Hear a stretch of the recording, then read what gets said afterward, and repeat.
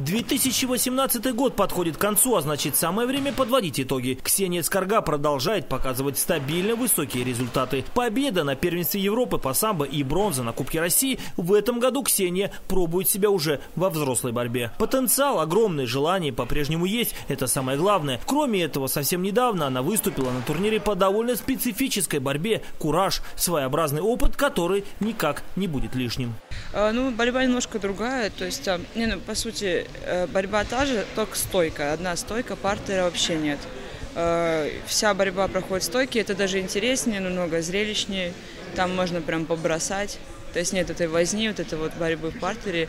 Поэтому это намного, мне кажется, интереснее. Ну, поэтому вот съездили.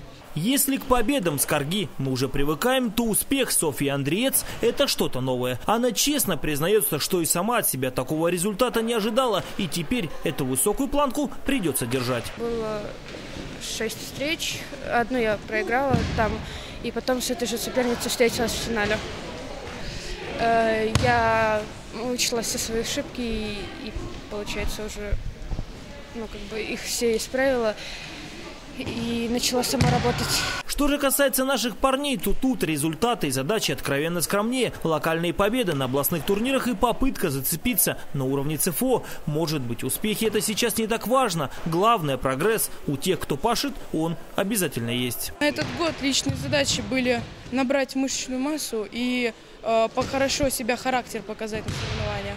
Ну вот у меня цели. Вот скоро в январе международный турнир у нас здесь будет. Это сильный турнир, хочу его выиграть. И Весной у нас будет э, ЦФО и область по самбо 3-4 год. В любом случае все эти ребята заняты и так или иначе сосредоточены на развитии своей личности. Часто можно услышать, что спортсмены недалекие и неглубокие люди. Василий Толстых перечеркивает этот штамп. Ну, я люблю увлекаться разным, я творческий человек. Мне интересует, допустим, Япония тоже.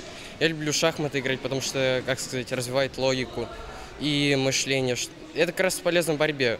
В борьбе нужно думать быстро. Там, что подумать, доли секунды нужны. И бросать уже. Кто-то из них обязательно станет спортсменом, а кто-то нет. Но лишним в жизни знание самбо не будет, а кому-то может однажды и спасти жизнь.